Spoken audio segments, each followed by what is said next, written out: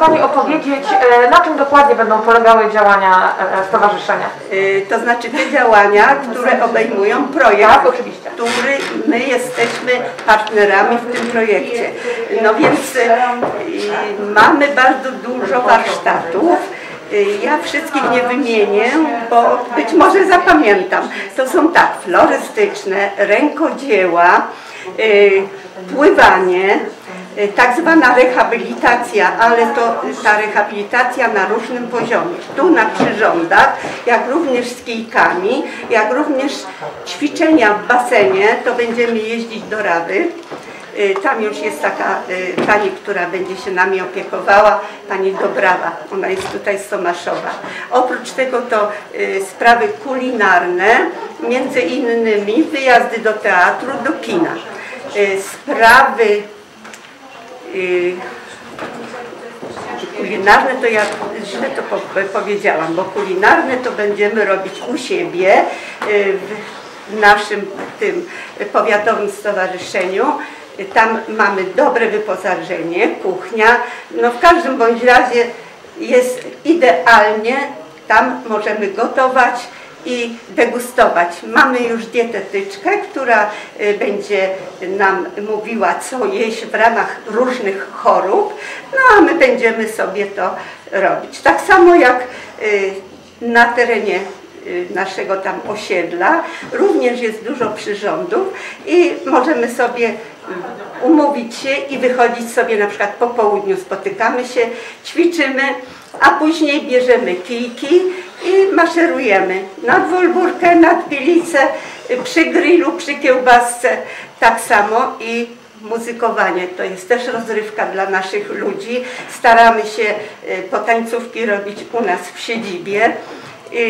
Nawet ciasno jest, muszę powiedzieć, bo tak dużo osób chętnych jest, ze względu na to, że my mamy dużą ilość członków, y, tym bardziej w kołach. Koła są bardzo prężne, nie wyróżniam tu żadne koło, bo każde koło w sobie coś ma, coś innego. Przeważnie na każdym kole są zespoły folklorystyczne. I my właśnie będziemy w ramach tego projektu korzystać z tych zespołów. Y, Natomiast, no cóż ja jeszcze mogę Pani powiedzieć? to ja mam takie pytanie. Takie miejsca jak to dla seniorów, czy one pełnią ważną rolę? Y, Tak, tak jak tutaj na przykład, to jest bardzo ważne, bo myśmy też troszkę uczestniczyli, może w minimalnym zakresie, w tym pierwszym pomieszczeniach, co było zorganizowane na Antoniego.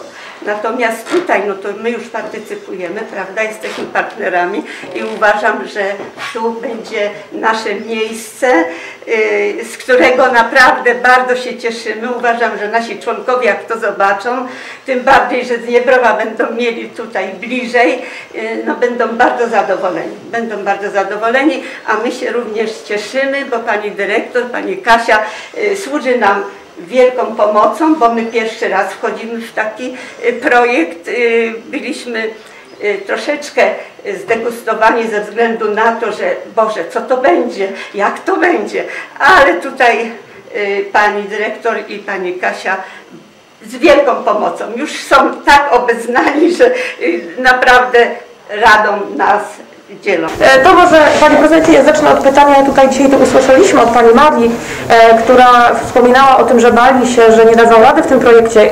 Dostała wsparcie, udało się. To chyba też pokazuje bardzo naocznie, jak ważne jest, jak są te programy i w kontekście aktywizacji seniorów. Tak, jak wspomniałem wcześniej, to jest, taki połowicz, to jest połowiczna radość, bowiem cieszymy się, że kolejny taki obiekt oddajemy do dyspozycji tych osób najstarszych, seniorów, ale z drugiej strony chcielibyśmy ten obiekt przekazać już tak w sposób taki wprost, aby zagościły tutaj e, panie i panowie seniorzy e, w liczbie 30, bowiem na tyle mm, jest zaplanowana działalność tego miejsca i mogli tutaj faktycznie realizować swoje pasje, bowiem, bowiem w naszym życiu wiek nie jest e, żadną przeszkodą w realizowaniu swoich pasji. Ostatnio mogliśmy się przekonać, jest taki program, nie chciałbym robić już reklamy żadnej, ale jest taki program, w którym e, seniorzy, osoby starsze, nawet po 90 śpiewają i robią to znakomicie. Nieraz e, niektórzy twierdzą, że o wiele lepiej niż e, te, ci wykonawcy w oryginalnych wersjach Więc to też pokazuje, że zawsze jest czas na realizację pasji. I to będzie też takie miejsce, gdzie będziemy mogli realizować swoje pasje, gdzie seniorzy będą mogli realizować pasje plastyczne, pasje muzyczne i wszystkie te, które będą chcieli sobie wymarzyć do realizacji. Być może poprawa kondycji fizycznej e, i szeregu innych rzeczy. Tak, to, to miejsce jest niezwykle ważne. Ja zapowiadałem, że będzie kolejne miejsce w e, Starej Przyjaźni. To miejsce jest w Tkaczu. Warto dodać, że ten remont był specyficzny, bowiem przebiegał on pod czujnym okiem konserwatora zabytków, bo ten budynek jest zabytkiem. A wszyscy ci, którzy mieli kiedyś taką możliwość realizowania inwestycji pod okiem konserwatora, wiedzą, że to nie jest łatwe zadanie. Tutaj się udało. Te wszystkie elementy, takie jak okna drewniane, takie jak podłoga e, drewniana, mm, zostały utrzymane i one nadają też e, pewnego klimatu, pewnego klimatu, w którym e, jestem przekonany, seniorzy będą się doskonale czuli.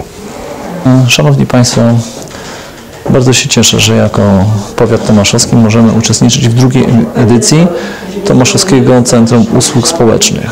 Nasz wkład, wkład powiatu tomaszowskiego, to są zadania, które realizowane są przez Powiatowe Centrum Pomocy Rodzinie, a mianowicie jest to wypożyczalnia sprzętu dla osób potrzebujących, dla osób powyżej 50 roku życia.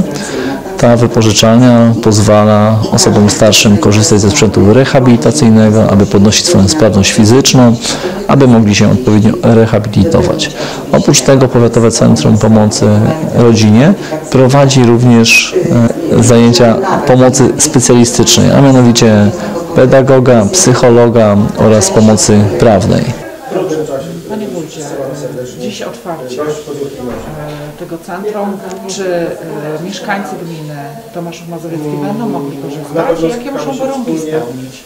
Czy Tu, tutaj nie ma jakiegoś uwarunkowania, bo to jest dla seniorów, e, e, dla emerytów i tak jak było w pierwszym e, projekcie, który jeszcze realizujemy, jeszcze nie jest skończony, w pierwszym domu pomocy e, stałego pobytu mogli nasi mieszkańcy w zajęciach brać udział, tak samo i tutaj przy tym projekcie drugim e, również mogą korzystać z domów pomocy, stałego pobytu w mieście. E, Jeżeli emeryci miejscy będą chcieli w naszych e, świetlicach wiejskich, również mogą brać udział w różnego rodzaju zajęciach, korzystać z tego. Także to jest dla mm, obu tych samorządów, wszystkie obiekty są dostępne. Bardzo się cieszę, że dzisiaj się spotykamy w Centrum Usług Społecznych i to właśnie tutaj na ulicy Piłsudskiego, no dlatego, że to centrum, ten dom dziennego pobytu wraca w to miejsce po kilku latach. I to bardzo cieszy, że już mamy jedno na ulicy em, Farbiarskiej, tak? A teraz mamy drugie tutaj. Ym, Cieszy mnie również fakt, że samorządy potrafiły się porozumieć między sobą i potrafiły napisać taki projekt, który został doceniony przez Sejmik Województwa Łódzkiego i z regio- Regionalnego Programu Operacyjnego już drugi raz te właśnie samorządy, mam na myśli miasto Tomaszów, gminę Tomaszów i powiat tomaszowski, otrzymują pieniądze, fundusze. Ten pierwszy projekt to było około 3,5 miliona, które miasto dostało, cały projekt ponad 4 miliony. Natomiast ten drugi projekt to już są dużo większe pieniądze, bo cały projekt to jest ponad 8 milionów, z czego miasto dostało, y, może nie miasto, ale mm, cały projekt otrzymał dofinansowania ponad 7 milionów, 7500 czy 7600, ja tutaj może dokładnie złotówek nie pamiętam, ale to jest bardzo duża część, byśmy powiedzieli lwia część tego projektu i dzięki temu seniorzy, osoby niepełnosprawne będą mogły się tutaj spotykać, dostać y, fachową pomoc terapeutyczną, ale myślę, że to, co jest najważniejsze, po prostu się spotkać. Po prostu się spotkać z innymi seniorami, porozmawiać, nie czuć się samotnym, mieć kogoś, do kogo można się odezwać, poczuć, że jeszcze życie się nie skończyło, że jeszcze jest coś przed nami.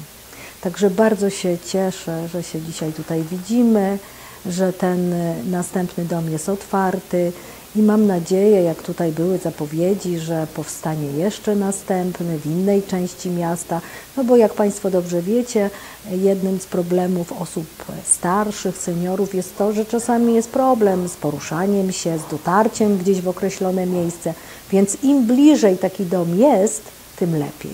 Dlatego można byłoby powiedzieć, że jakby we wszystkich częściach dzielnicach Tomaszowa Mazowieckiego dobrze, żeby takie miejsca były, gdzie te starsze osoby będą mogły się spotykać i korzystać z pomocy. Y, Proszę Państwa, każda osoba y, w wieku senioralnym jak najbardziej możliwe jest, żeby, żeby uczestniczyła, żeby była włączona w działania projektu. Bo projekt to nie tylko dom dziennego pobytu, to są również inne działania y, senioralne związane z, y, z, y, przeznaczone dla seniorów w formie świetlicy środowiskowych na terenie gminy. Y, y, To są y, porady różnego rodzaju psychologiczne, to są świadczące, świadczone przez Powiatowe Centrum Pomocy Rodzinie i specjalistyczne.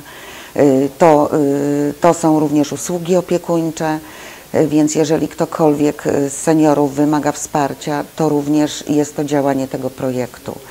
Y, Będą również mieszkania wspomagane y, w następnym etapie dla ośmiu seniorów, gdzie będzie całodobowy pobyt dla tych osób, pod nadzorem oczywiście wykwalifikowanej kadry. Jakie warunki? Trzeba być w wieku senioralnym, to jest raz, czyli, czyli 60 lat y, jak najbardziej, a nawet jeżeli jest ciutkę poniżej, to y, a jest na przykład niepełnosprawność, to jak najbardziej też może skorzystać, y, być uczestnikiem takiego projektu.